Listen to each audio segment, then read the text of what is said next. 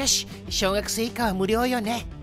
ラーメンができる3分を待つおっさんともう行けるよと囁く悪魔。法律で禁じられております。デートの断り方が斬新。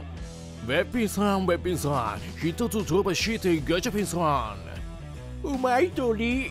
極限の緊張度100%夕方の欠勤連絡。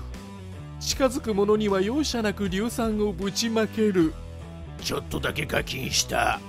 あしまった。俺がパイロットだった。盲腸で入院した父が肩からピンポン玉を出せるようになって退院してきた。麻薬捜査班に入ってから様子がおかしい。初めましてしか言ってないのに通訳が2時間くらい喋ってるけど商談がまとまりそう